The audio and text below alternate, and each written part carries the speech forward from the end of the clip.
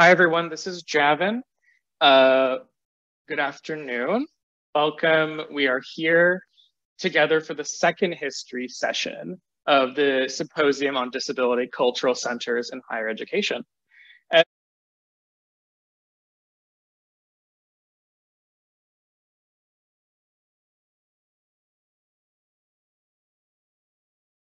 All right, so we have the University of Arizona and the University of Illinois Chicago um, as part of this session. And so we have um, a variety of speakers uh, um, in, in, this panel. And first up, I'm going to invite Zoie, Nell, and Hailee to introduce themselves and share a bit about UIC's campaign for a disability cultural center.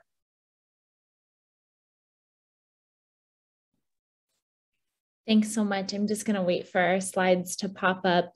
Um, but as I'm doing that, um, I'm going to start by introducing myself and then inviting my co-speakers to do so as well.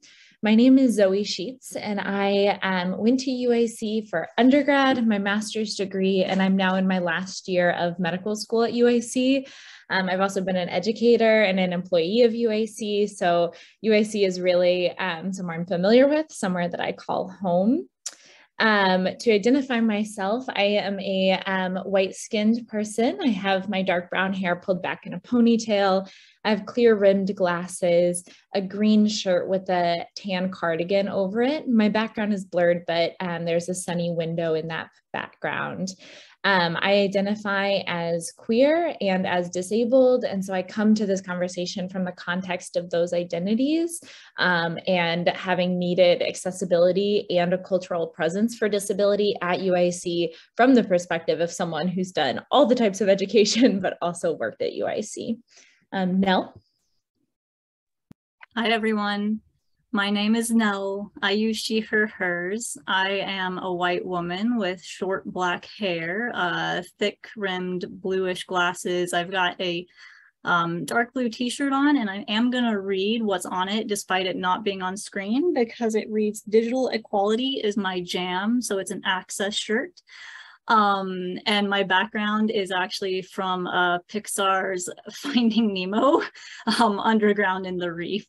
Um, so I was a PhD student at the University of Illinois in Chicago at um, in the Department of Disability and Human Development, but I received um, the master's degree in sciences from the department and left um, prior to completing my PhD to become the first and current accessibility and meetings manager at the American Anthropological Association. Um, so my work has been a lot of access culture building, actually, a lot of cultural shift work in the work that I do beyond just compliance.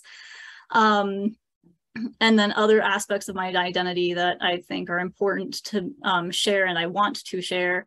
Um, I am also queer. I identify as an intersex woman and I, I, identify as the kid of Polish refugees, um, immigrants. So I come into this conversation from that mixture of of um, history, and I've got a physical disability and I'm neurodivergent also. So those are all really key components of who I am and how I come to this uh, conversation. So I'll pass it on over to Hailee. Hi, everyone. I'm Dr. Hailee Yoshizaki Gibbons, and I am an assistant professor of biomedical humanities at Hiram College. I was at UIC for seven years, um, earning my PhD and also teaching in the Disability and Human Development Program. And I use she, her, hers pronouns.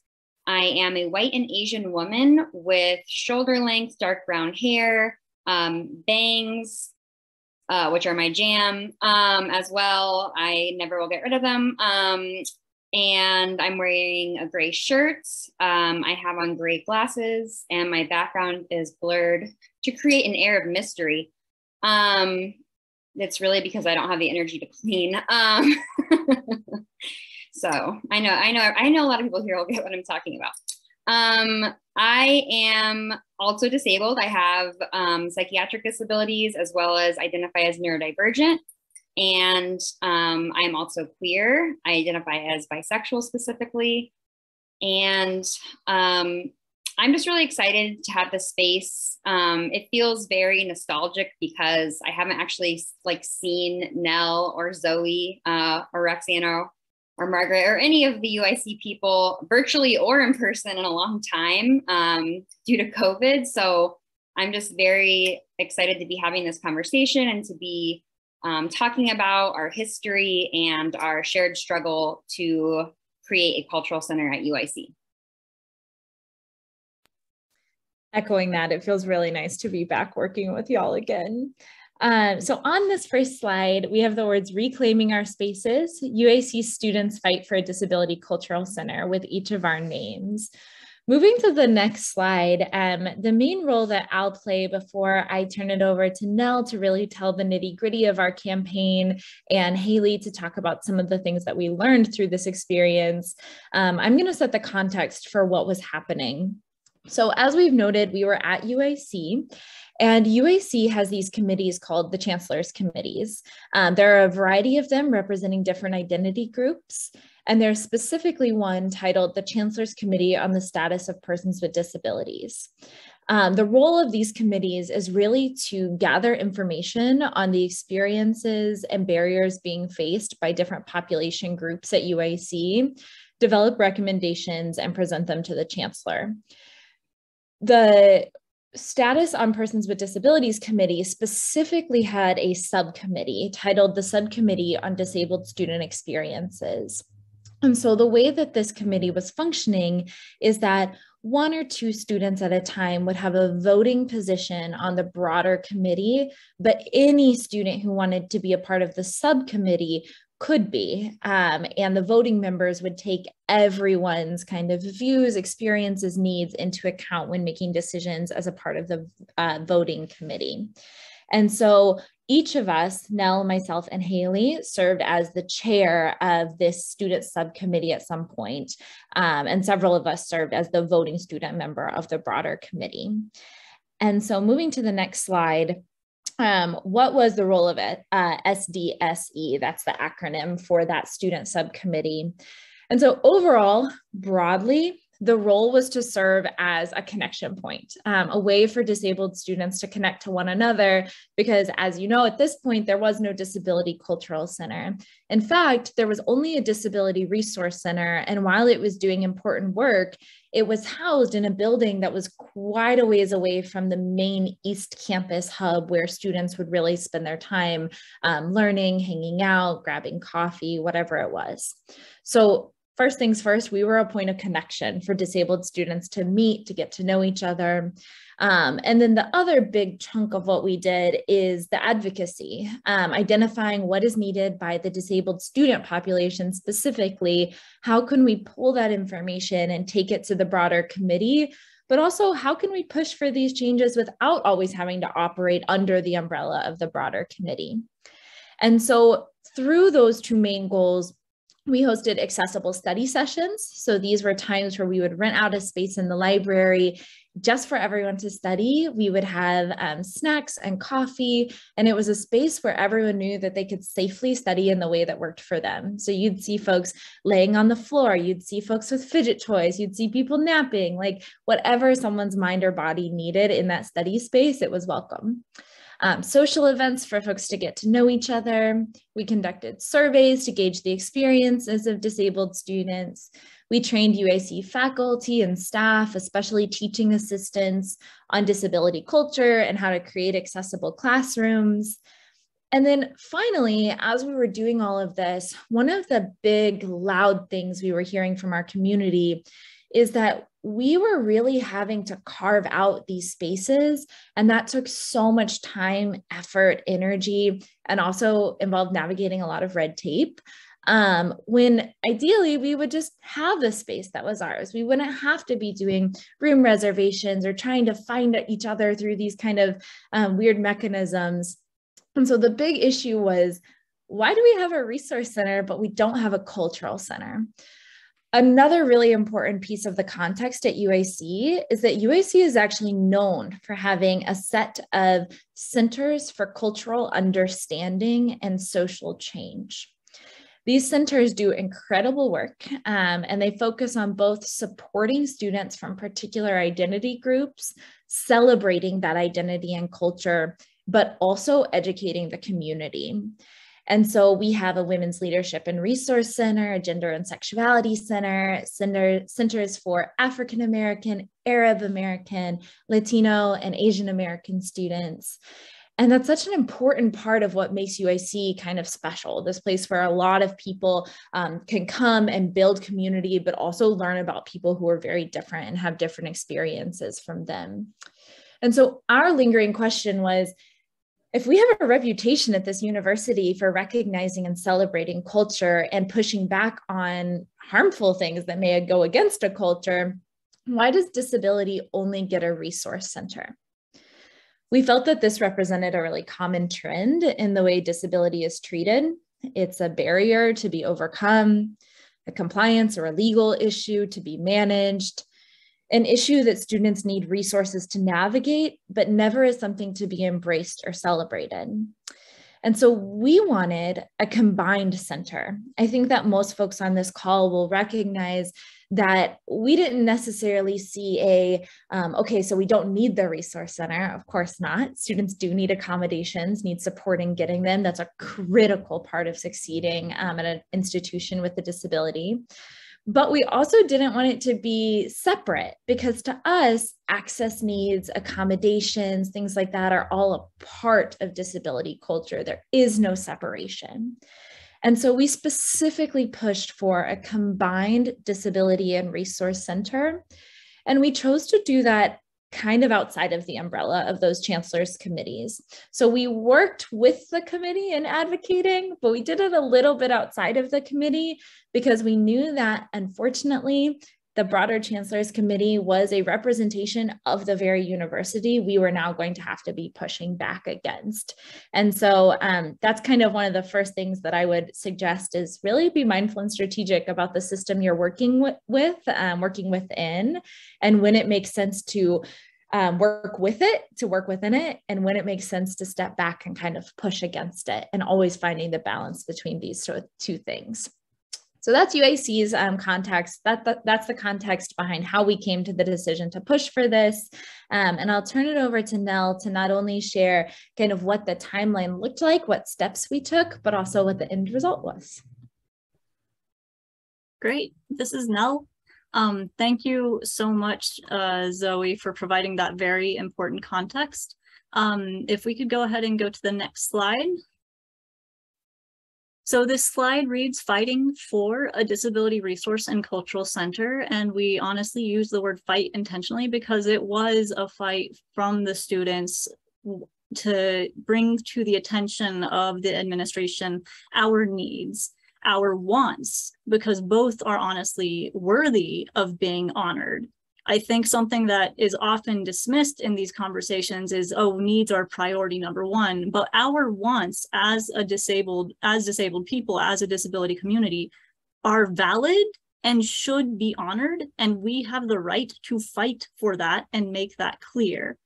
Um, so if we can go to the next slide, we'll go through the timeline. On this slide, there are seven uh, rounded boxes, purple boxes, with a light purple large arrow moving from left to right. Um, and these seven boxes in basically present seven different time periods of this fight for the combined disability resource and cultural center. On the left side, um, in 2015, we the in late 2015 the SDSE or again the subcommittee on disabled student experiences decides to fight for a combined DRCC so that's the abbreviation for the disability resource and cultural center. Um, and so that was the project deemed by the chair to be the project for the year and it was to expand the current disability resource center at UIC um, and I'll talk a little bit more about the details of what those asks were on the next slide, but I'm gonna first provide the context through this timeline before getting to those specific asks. But ultimately, the decision for this specific request and ask and fight was because the goal was to address the lack of genuine recognition of disability culture on campus. Uh, we wanted our campus to respect disability as an identity and to move away from this notion of legal compliance only to actually acknowledging and also celebrating disabled identities, um, which students on campus recognized and wanted that to be honored and met and, and to have it happen. So in 2016, there was a plan created by the SDSE there was a petition written. a lot of student opinions were collected to make sure that this was indeed the action that was going to be supported by our community. And also there was a lot of research being done about other universities that already had disability cultural centers available to them. And also in doing that research, we specifically identified why we wanted to combine the resource and the cultural center together. Going back to Zoie's point of access needs, accommodations are part of disability culture and they cannot and should not be divided. We as disabled people should not be forced to have to decide, oh, today I'm going to one building to meet my accommodations, but I can't go handle, I can't go be in community with the people at the cultural center because it's in a different building across campus. So in 2017, um, the petition was circulated for the DRCC for nearly an entire year. Um, and during which time that leadership of the SDSE actually shifted and Zoie became chair at that time. And by December of 2017, 1,352 signatures had been collected, the large majority of whom were not disabled, actually. So not only were disabled students advocating for this, but non-disabled allies were clearly supportive and understanding the need and desire for this and wanted to support our community to give us the space that we deserve. In late 2017, this is where we hit, let's call a road bump. um, the petition was presented to UIC's administration and pretty promptly rejected in, let's say, painful ways, um, and leave it at that. Um, and soon after that rejection, as uh, SDSE was trying to regather and determine what our next steps were going to be, late January 2018 comes along and there's a campus-wide announcement that there's a new disability cultural center that's going to be created, which hooray, and also what? Um, the students, our group were really it was a both and situation of awesome you heard us. You heard that we are a culture. You heard we have cultural value and that we needed a space. And also you completely ignored us because you forced are going to force us to decide between accommodations and community. And we were upset by that.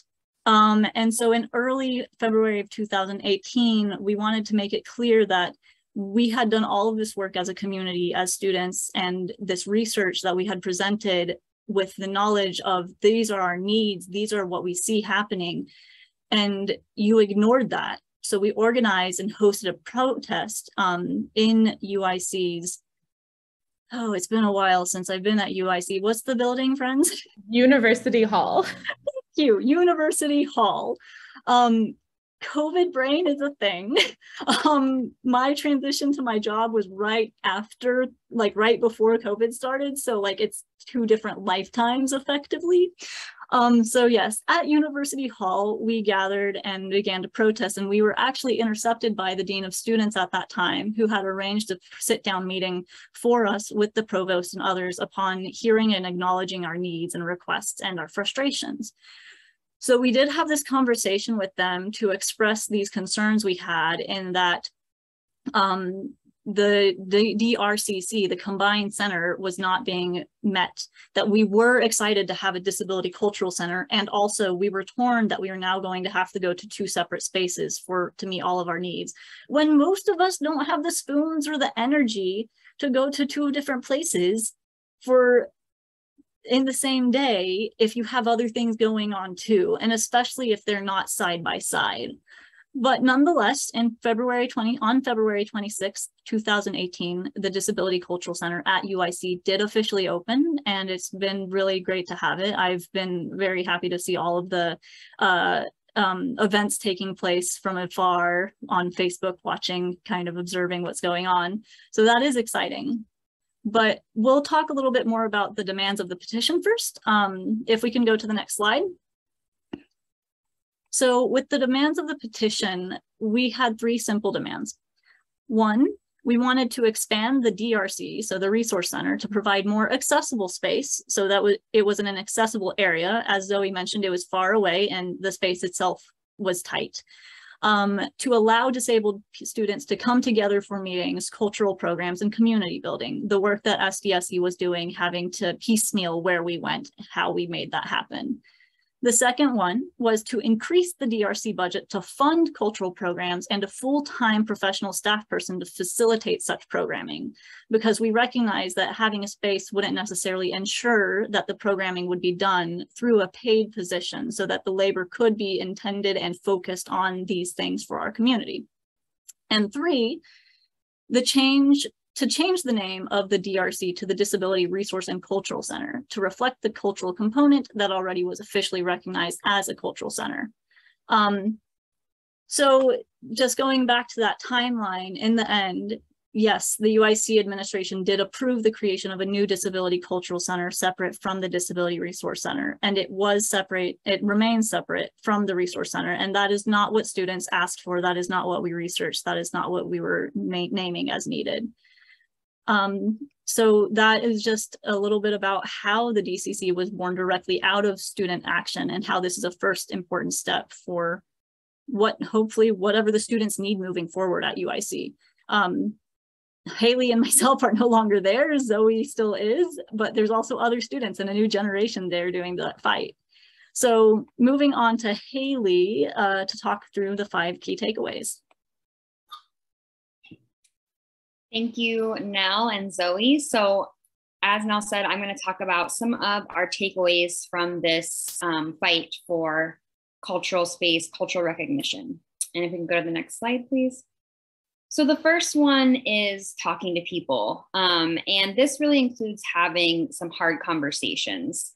Um, I'll start with some of the easier conversations first. So something that's very helpful that we really encourage people to do is talk to people at your institution who have been there for a long time, who have historical memory. Um, this one of the reasons that we identified a cultural center as being so needed is that we had conversations with Dr. Carol Gill, um, who used to be the chair of the um, Chancellor's Committee on the Status of Persons with Disabilities. And she had told me when I was chair that, oh, we used to have this student organization, the Disabled Student Union, um, you know, it fell apart. Um, and with conversations with other students, we talked about how, well, a student org is always kind of following a, a student, a person, and it can very easily go away, right? If a student graduates, there's not new officers, um, maybe, you know, the attendance in the organization drops. So we, through these conversations, identified what we need is something different, something that's actually institutionalized, um, something that isn't attached to a single person, but rather is reflective of our entire diverse community.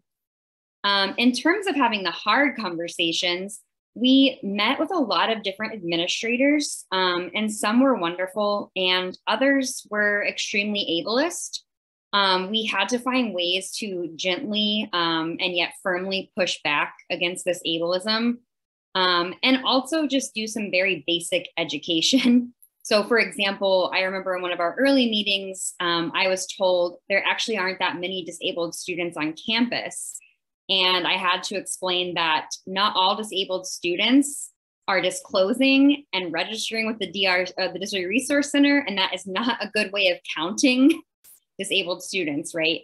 Um, that's just like one of many examples where the administration didn't have very basic knowledge of our community, um, the challenges our community faces, the victories our communities have, has had. So we really had to be very um, specific about that and really educate them on those things. And that's part of letting people ask you questions too. So um, we really took the time to try and do this education, which was, of course, additional labor, but it was essential in helping the administration understand where we were coming from and why this was so important.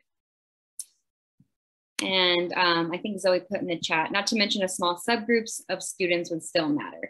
Yes, and we talked about that too, right? Um, that it doesn't matter how many numbers there are, right? That if we're really committed to culture and social change, um, that it shouldn't be uh, a numbers game, right? Even though disabled people are, you know, one of the, one of the largest marginalized groups in the United States. Um, next slide, please. Um, we also, as, as Nell mentioned, we had a lot of um, allies participate in our petition, which honestly was a, you know, a, in a sense, a surprise, but also just really encouraging, um, especially reading a lot of people's comments. Um, some people with other marginalized identities would even mention other cultural centers and, you know, and really recognizing like I'm one of the reasons I have been able to succeed at UIC is because of the Latino Cultural Center. And, you know, I fully support my like fellow disabled students um, getting right this this cultural center of their own. Um, so it's really important to seek allyship um, and of course, and still ensuring that the, you know, um, most marginalized are centered in our movements, um, but that we're also building like cross movement solidarity. And we actually saw that quite a bit um, with uh, when once the Disability Cultural Center, you know, really took off. There started to be a lot of um, events that were collaborations between the Disability Cultural Center and other cultural centers, which was amazing to see. Um, next slide. Um, uh, Nell and Zoie mentioned this, right? But um, it's always navigating power dynamics. Uh, universities have extremely complex systems of power, um, and it can be hard to figure out um, how to, to, to, move through them. Um, I found that having a lot of more personal one on one meetings in addition to larger group meetings was very useful. Um, and also at times pushing back against those power dynamics. I will say that one of our allies um, is that kind of midway through this fight, we got a new vice chancellor for diversity, um, Amalia Pallares. And I actually was lucky enough to be on the search committee that hired her. So I ensured that we asked questions about disability, um, which actually weren't on the original interview questions. Um, so I was able to hear, you know, her view of like what disabled students need and it really aligned with our own and that's one of the reasons i and i think others on the on the search committee pushed for her hiring because we saw that she really supported students vision and understood what we needed on like a deeper level even though she herself as far as i know does not identify as disabled. So having her as an ally made a huge difference. Um, next slide please. Combine fact and emotion. Um, so we we tried to do basically kind of two ways of presenting information and demands to those in power. Um, one, we really sought to have like quantitative data um, because we knew that they would respond to that. Um, even though, as Zoie said, numbers shouldn't matter. And often in large universities, they do, they matter very much. Um, but then we also would share a lot of qualitative data with them. And that included those of us who were in these meetings, or at times we even crashed the chancellor's um, like special question sessions, um, which he loved. Um, but we would share like our experience, our lived experiences as disabled people, um, as disabled graduate students, disabled undergraduate students, disabled teaching or graduate assistants. Um, and this was really important because, right, we we can't just be numbers on a page, right? Like we have to be, unfortunately, due to ableism, we have to fight to be humanized in people's eyes, right? And um, that's something that we really focused on is both having that quantitative aspect, but also really sharing these are our identities, this is our culture, here are you know diverse aspects of our community, um, and kind of inviting non-disabled people into what our lived experiences are and what our community is like. And then the final takeaway, please. Um, focus on inviting, not accusing. Um, so, right, how do we call people in versus calling people out? And also thinking about how to be strategic about that, right? Um, as I mentioned, there were definitely times where uh, the chancellor and other high up administrators were becoming very frustrated with us um, because, you know, we were creating a lot of good trouble. Um, and we really had to remain like calm and patient. There were times in meetings that administrators would get like, visibly and audibly upset with us. Um, and we had to just, like I said in the first takeaway, we had to just keep working to educate them, to explaining our position, um, to holding firm to our demands, um, and not like uh, trying to, you know, say, okay, we understand you don't have the money, even though we know you have the money um, right? Like actually holding our ground um, and making sure that they understand, like, we're inviting you also to join us, right, in our culture. This is this cultural center isn't going to just benefit disabled people, right? It, it benefits everyone on UIC's campus, and that includes faculty, staff, and administrators, right? Of course, it's for the students, by the students, um, but we really had to ensure that the administrators understood that this is really for the broader community and something that we need if we're really going to be committed to cultural change and social justice. And then I think we have a final slide that just has our contact information. Um, I forgot to put my Twitter on there, but like Nell, I'm kind of a rare user. Um, so if you have any questions, we invite you to email um, us or you know uh, Zoie's website is also on there. Um, my website is just my name at uh, .com if you're interested. Um, but we're happy to have further conversations with people about this um, and hope to hear from, uh, from others what they are doing what they're trying to do and see how we can support them. Thank you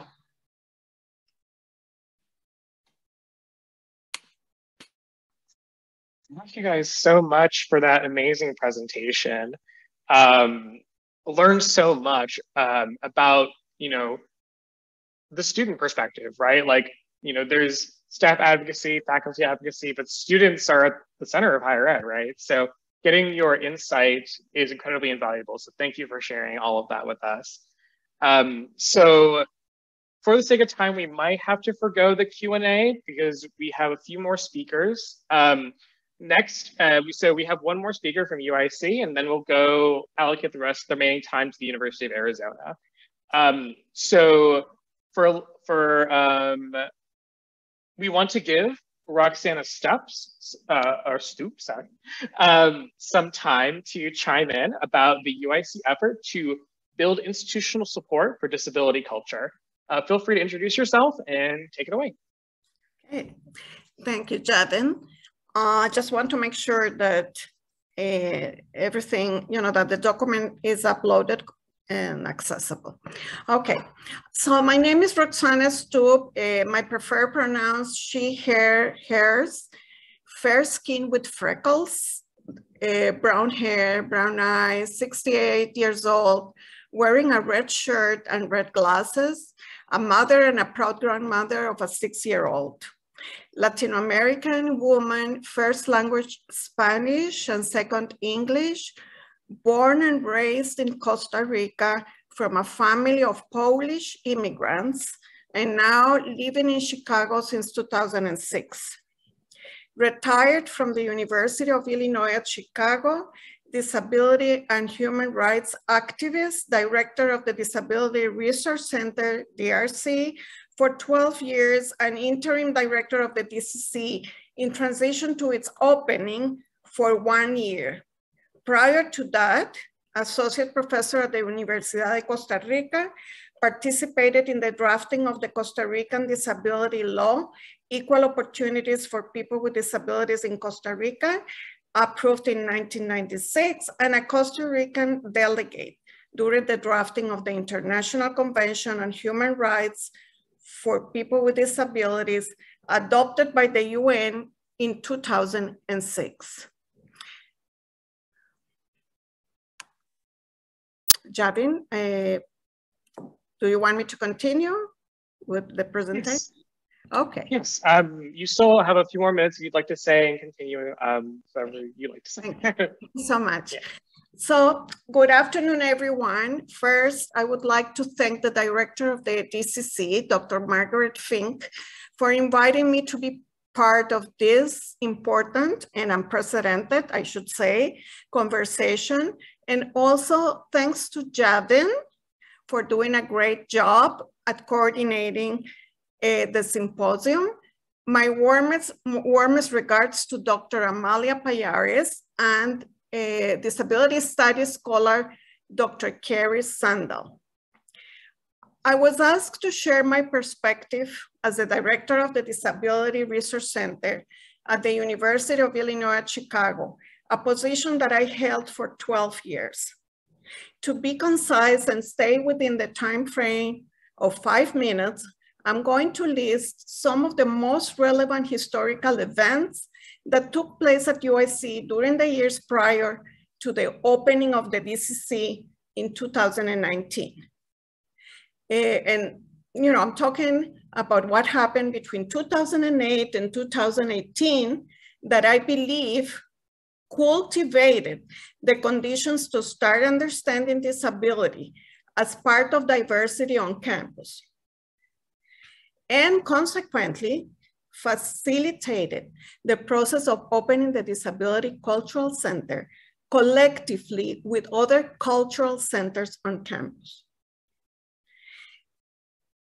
In 2006, I'm sorry, in 2008, the chancellor and the provost initiated a campus-wide diversity strategic thinking and planning process in which the UIC disability community, including disabled students, faculty from disability studies, the Chancellor's Committee on the Status of Persons with Disabilities, and the staff of the Disability Resource Center played an active role incorporating disability as a topic of diversity.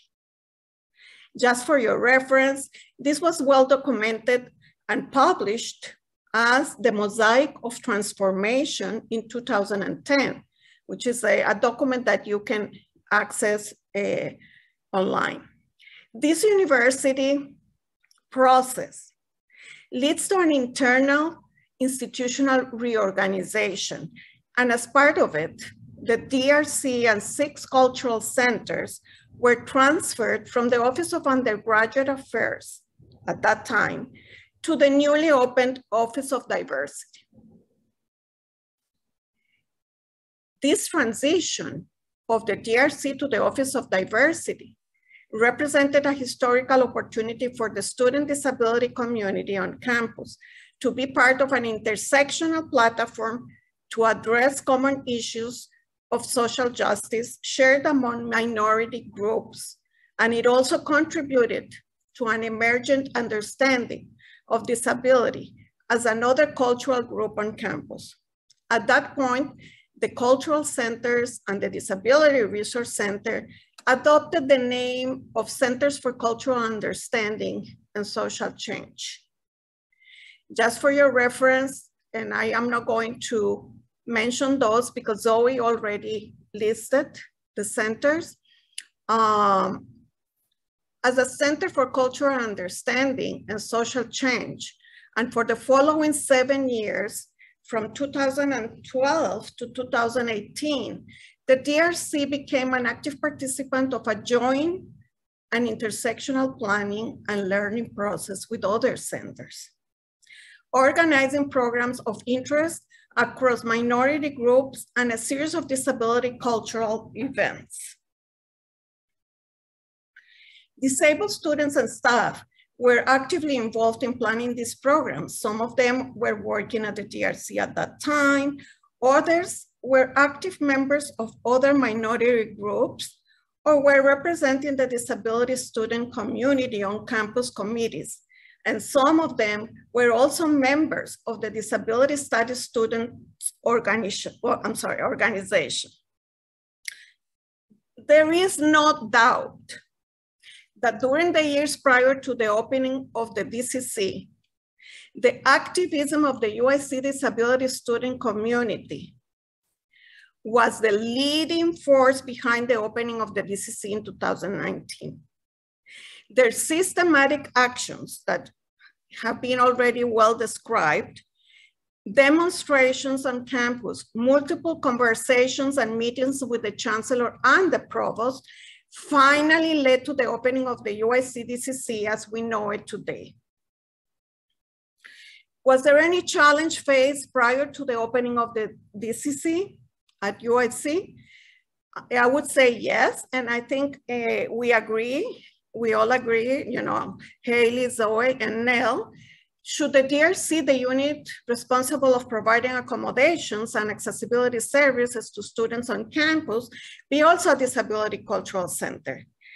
Uh, some argued in favor and others against it, but either way, students from both sides share common experiences, causes, and stories. Finally, in 2018, the Disability Resource Center was transferred to another unit within the Office of Access and Equity, and the Disability Cultural Center opened as an independent center under the Office of Diversity in 2019 with its own vision and mission and designated budget. Very quickly, because I, I'm aware of, of my time frame, I'm just going to share with you, based on this brief historical description of events and my experience during those years, I would like to leave you with some practical insights on our path to build a DCC on campus. Collaborating with other minority groups on campus and having their support can be critical to the empowerment of the disability community and its recognition as a cultural group on campus. Joining diversity initiatives and units on campus can be instrumental to have financial support and be part of the university organizational structure. Accessibility can be, can be challenging for the disability community to fully participate. Therefore, making cultural spaces accessible on campus is a challenge that needs to be faced by the DCC understanding and defining disability as a preferred identity, and recognizing the disability community on campus as another minority group within diversity requires to go beyond the limitations of campus legal compliance. Disability studies academic programs are a referent and a source of knowledge and research for the DCCs. Uh, some campuses have those programs, and uh, otherwise, you know, these programs uh, in other universities can serve also as sources for that knowledge. Uh, campus surveys, gathering stories and documents that can be helpful to can be helpful to explore existing beliefs, attitudes, and stereotypes about disability on campus. And lastly, Building networks with local, national, and international disability organizations can offer opportunities to learn from other disability cultural perspectives and be part of a larger disability community. Thank you all for your attention. Thank you, Roxana, for your presentation. That was incredible to learn your perspective on the history of the DCC and how that all played out. Um, really appreciate your time and energy put into your presentation. And now, so unfortunately, we will be foregoing the Q&A session for the sake of time. So we want to um, allow the University of Arizona representative, uh, Dr. Toni Saia, to uh, take the remainder of the time and a little bit over if she needs to share the history on the uh, on the DCC at the University of Arizona. Um, so feel free to take it away. So hi everyone, as uh, Javin alluded to, I'm Dr. Toni Saia, and I'm an assistant professor at San Diego State University in the Department of Administration, Rehabilitation, and Post-Secondary Education. Uh, I am a uh, disabled woman. I am a white woman in my early 30s. Um, I have pink and black framed glasses, and my hair is uh, blonde with a lot of roots and um, down straight today, which is rare because I tend to have very curly hair. And um, the background of me is blurred. Um, and so I'm just really excited uh, to be here and I'm so excited to be uh, back in the DCC um, space. And I use she, her pronouns. Um, so before uh, before I even get going, I want to acknowledge that I really have to embrace what I like to call crip flexibility um, because my computer crashed and I don't have my uh, slides. So uh, please be flexible with me and patient as I try to recall all the information um, from from my mind, from my head and mind and and everything. And so I'm hoping that all goes okay. Um, so prior to uh, becoming an assistant professor at San Diego State, uh, much of my uh, higher ed experience was at the University of Arizona. Um, I did my bachelor's there. Um, well, I, I, should say that I, I transferred um, after attending a very inaccessible university. I transferred to the University of Arizona because as as a disabled woman, even though I didn't have the language for this yet, I knew that I wanted um, college to be an opportunity for me to explore my identity and um, not even necessarily just my disability identity, but going to um, a school that had no access really prevented any uh, identity formation. So I transferred mid year to um, in January to uh, the University of Arizona. And then I stayed there um, to do my master's and um, my PhD as well. And I just think that that's important context that I bring to the table because before I was in any sort of admin role, I, I was a disabled student um, at the University of Arizona. And um, then I was the first program coordinator of the Disability Cultural Center. And so I have um, that experience and I've kind of been involved um, kind of from the ground up of that. And so uh, I come to the table with a very uh, unique experience. Um, but I want to say that before I even begin talking about the Disability Cultural Center, for the University of Arizona, it's important to acknowledge um, the work that the University of Arizona is doing in relation to just uh, disability resource and disability services, um, because I think that that's uh, helped propel uh, the Disability Cultural Center in a lot of ways. So the DRC is um, often labeled as uh, national leaders um, in disability access and accommodations and services for disabled students. They draw in a high number of disabled students. Um, I, I think it's largely because of that, but also because uh, it's located in Tucson, Arizona, which is uh, flat which is great for any kind of mobility devices. I'm a chair user.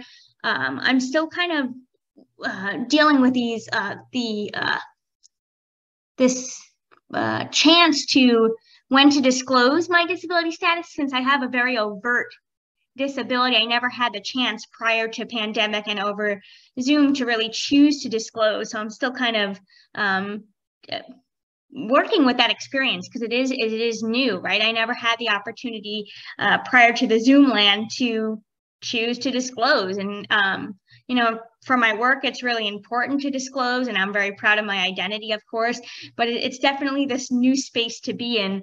Um, but i think that uh, it's important to acknowledge that um, the Disability Resource Center was uh, established, it predated the Americans with Disabilities Act.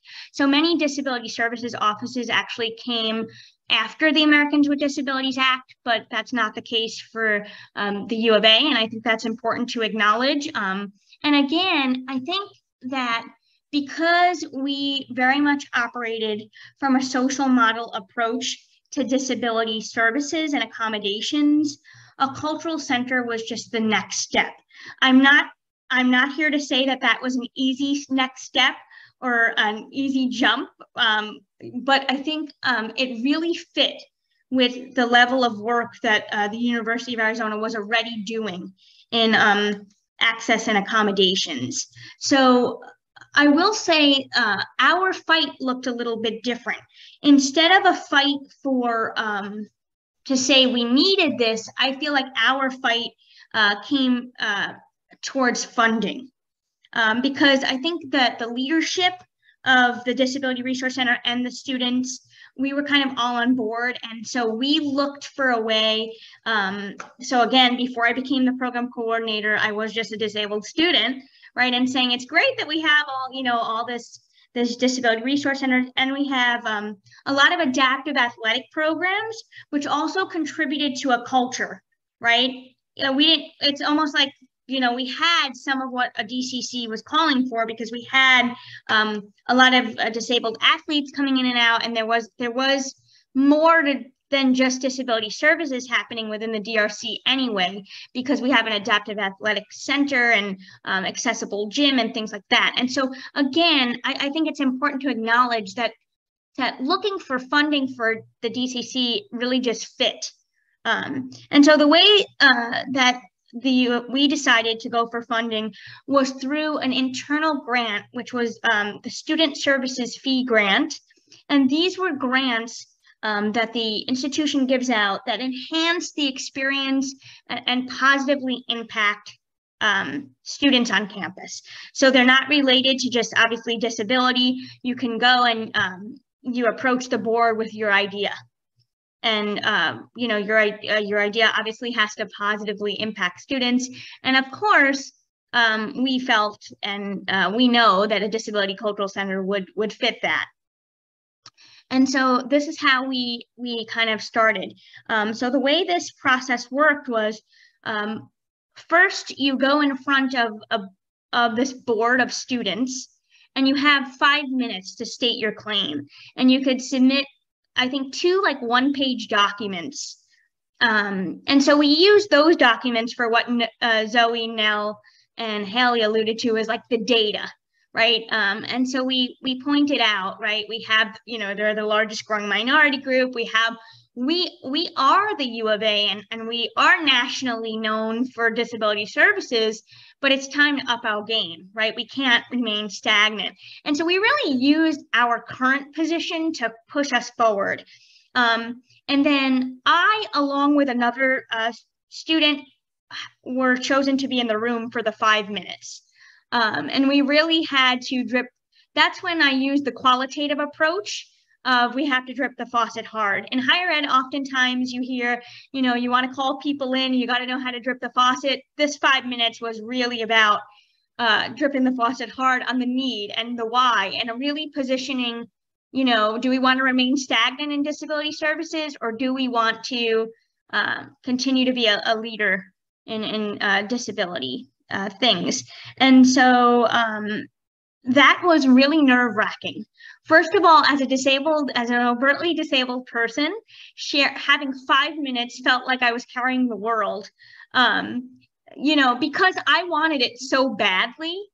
And now I had to convince a, a room of people that had limited understanding of disability at all, right? Forget about disability services, but this is a group of students, right? Like th- this is not their area and um and it's hard right? It's hard to get people on board right away to viewing disability as an aspect of diversity because so often disability we're left out of those um you know those conversations. I'm sorry i'm just looking at the time and i'm trying to speed it up.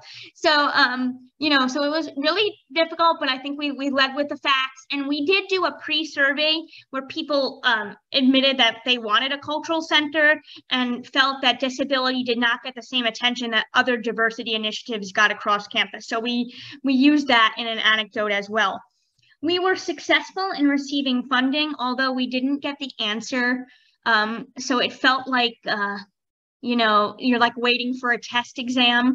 You're waiting for the the results. It felt like forever. It probably was a couple weeks, but in my mind, it felt like a year.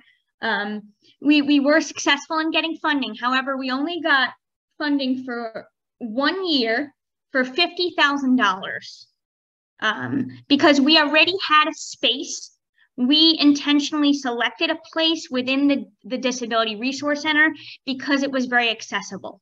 Um, we we didn't want to forego accessibility just to have it. Um, and I will say, just to piggyback off some of the things Zoie, Nell, and uh, Roxanne and Hailee shared, you know, for us, we just wanted it so bad that we we didn't want them to be able to use space as a reason now later on into the discussion, I see a lot of pros, pros and cons, and somewhere in the middle of where to put the space. Um, but for us, it made sense that we already had a very accessible space, so we don't want to lose that just to be uh, where the other cultural centers are or other things like that. And so we did again uh, get that fifty thousand dollars um, but that it's really difficult to start a space with $50,000.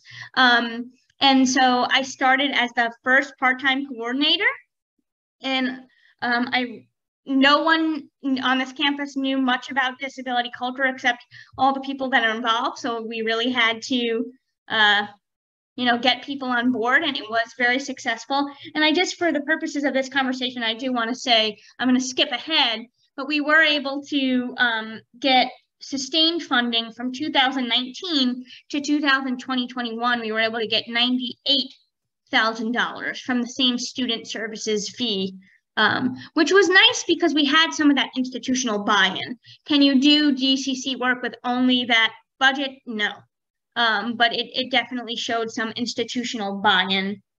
Um, I feel like I went rapid fire. I probably have a lot of holes. Um, I was trying to make up time um, and hit on everything, but um, I just want to make sure that I, I said this clearly. So the UADCC opened in 2018 for their first inaugural year. We had $50,000. And then for um, 2019 to 2021, we got $98,000. Um, I will paste my email in the chat um, if anybody wants to reach out. Obviously, I'm no longer at the center, but I'm still very involved. And um, I, if, if you need any of uh, the support about, you know, what to write, where to, what information to share, please reach out. Um, and thank you so much for being flexible. I knew in this community, of all communities, this is the community for your computer to crash seconds before.